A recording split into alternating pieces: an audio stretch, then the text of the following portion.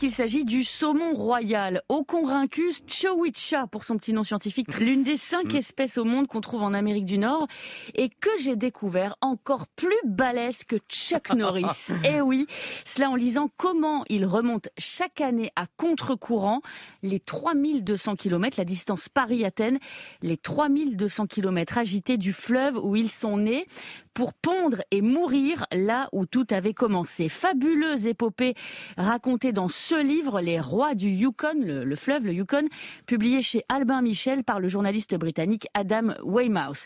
Le trentenaire, spécialiste des sujets euh, environnement, a suivi les poissons pendant leur migration de quatre mois dans son canoë jaune à travers les hmm. paysages jack londoniens de l'Alaska et du Canada, berceau et donc tombeau de ces saumons royaux parce qu'ils le souhaitent, d'autant que les œufs doivent être pondus en eau douce où ils sont mieux protégés et se développent mieux. Et deux, grâce à leur boussole interne. Les saumons sont, je cite, capables de distinguer une goutte de leur rivière natale parmi des millions de mètres cubes d'eau de mer. Un composé chimique de végétal et de minéral qui les tire comme au bout d'un fil tout au long du fleuve.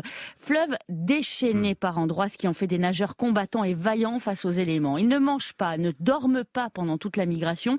Et quand ils arrivent au bout, ces colosses de parfois 25 kilos ont perdu jusqu'à la moitié de leur masse musculaire hmm. et 90% de leur graisse.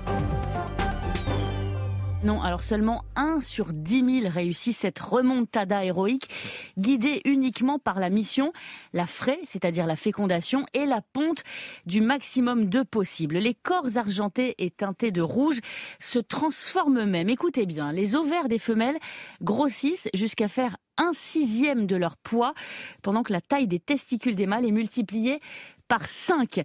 On ne plaisante pas hein, quand il faut faire survivre l'espèce malmenée par les prédateurs, la pêche, les barrages et le changement climatique, alors qu'elle est en plus une ressource précieuse et un patrimoine culturel pour les peuples autochtones.